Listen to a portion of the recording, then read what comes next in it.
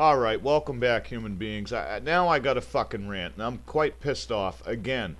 The whole scare you into getting a vaccine, the flu virus, blah, blah, blah. We had the fucking H1N1 bullshit. They scared everybody into taking shit that they didn't need.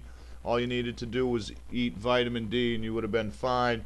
And then they wanted to hype us up a while back and tell us the new killer would be H5N1. Well, evidently, according to ROSE website, that's not even what's actually going around. You'll see here that it's a new one, the H3N2, now uh, making people sick. And listen to this.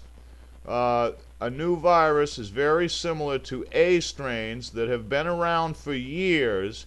Because of that, um, experts believe the current flu vaccine will provide some protection against it. Really?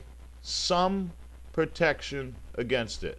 Keep getting your fucking vaccines, okay, so that everything can mutate and get stronger and worse and more vile as every fucking day goes by. People need to wake the fuck up. The fact of the matter is, is that a vaccine cannot be created that is guaranteed to fight anything unless the anything has been in existence and studied for six months prior. So any of the vaccines that you get, every flu vaccine is based on simulations and expectations, but they are not based on fact. Keep injecting your kids, keep dummying them down. Wake the fuck up.